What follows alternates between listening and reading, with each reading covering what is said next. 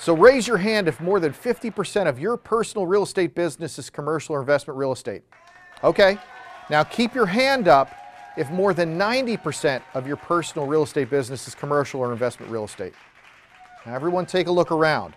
These are the agents and brokers who've made the leap to full-time commercial investment real estate.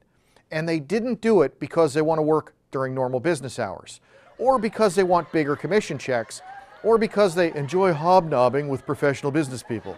No, they became full-time commercial realtors and brokers because they like using terms like discounted cash flow analysis and internal rate of return, because it makes them look smart.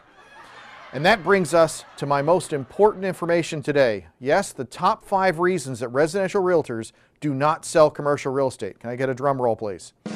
Okay, number five. Residential realtors really enjoy working every other night and every single weekend with home buyers who can't make up their minds. Number four reason that residential realtors do not sell commercial real estate, they love doing open houses on Sundays. Number three, they would much rather sell that condo down the street for 37.5 than that office building for 800,000. It makes them feel more complete inside.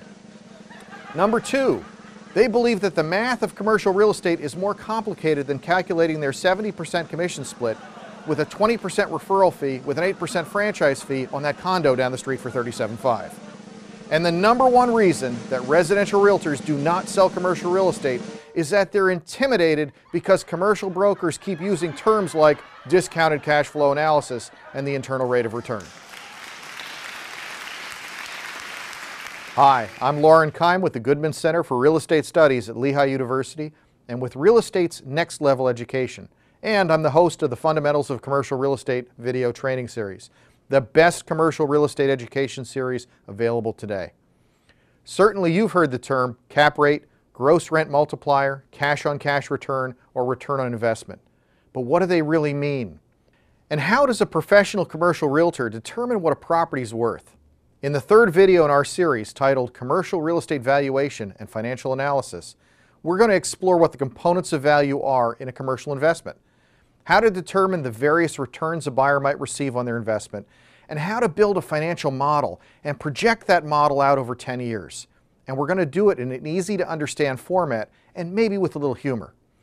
If you're a residential agent and you can calculate the down payment, closing costs, and monthly payment of an FHA loan, you can do commercial financial analysis. You just have to learn the terms, the techniques, and maybe a little bit of math. So order a copy today of our program, An Introduction to Commercial Real Estate Valuation and Financial Analysis.